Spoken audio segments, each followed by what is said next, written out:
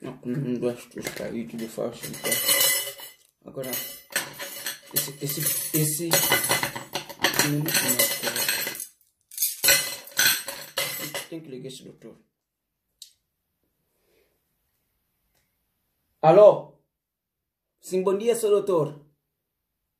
Desculpe o incômodo. Sim, sou eu, Odair.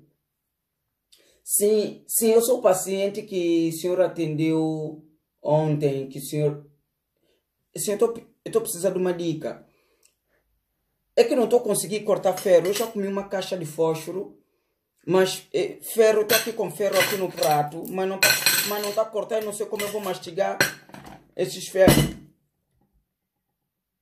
O senhor não disse para... O senhor não me disse para comer ferro. Eu estou aqui com...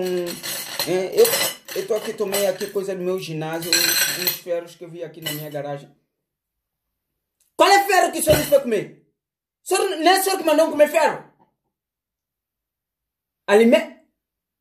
Senhora que é burra, o senhor devia falar português correto. O senhor diz, consuma alimentos que contenham ferro.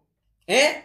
E fósforo. Daqui eu comi uma caixa de fósforo, porque o senhor disse, é? Você tem que comer muito ferro. É? É eu estou de manhã aqui com ferro aqui no prato. O ferro não está cortado. É, senhor disse, é? Você que comer muito ferro. Você precisa de ferro. Coma ferro e coma fósforo. É? Consuma muito fósforo e muito ferro. Porque teu corpo precisa de ferro. Che, eu também estou aqui a mastigar, a pensar que estou a virar é, homem de ferro. Gente burra. Aprende a falar português. Tchau.